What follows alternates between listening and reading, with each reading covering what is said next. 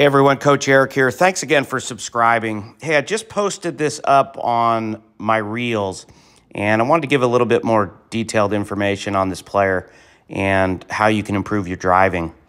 All right, so this player swing, in this particular swing, he's around 120 miles an hour.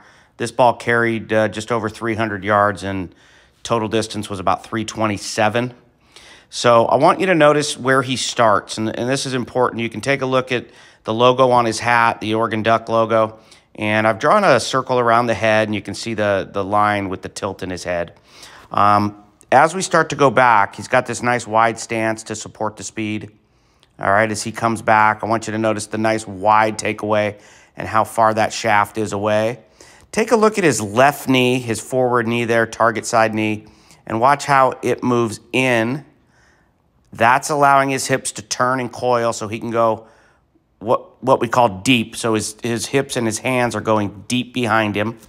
Okay? Now, really watch his head. You can see it hasn't moved off position. He's extended his spine, and his head hasn't moved from its original position much.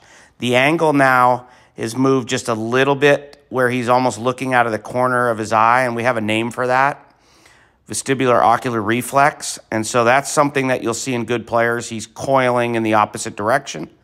And as he starts to move back down, I want you to notice what's happening now. As he gets down in what lead arm parallel to the ground with his arm, his left arm, you can see that his upper body is starting to tilt away from the target.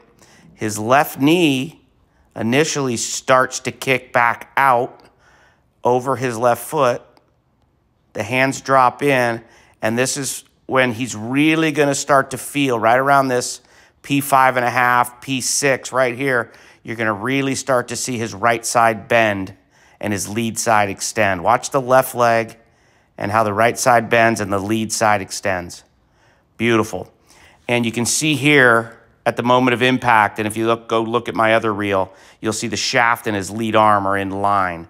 At 120 miles an hour plus, especially it's extremely important that we line things up. But again, take a look at where his head position is compared to where it started. And then look how he's lined up at impact. Hips are cleared, shoulders are open, and to a beautiful, powerful finish. All right, enjoy.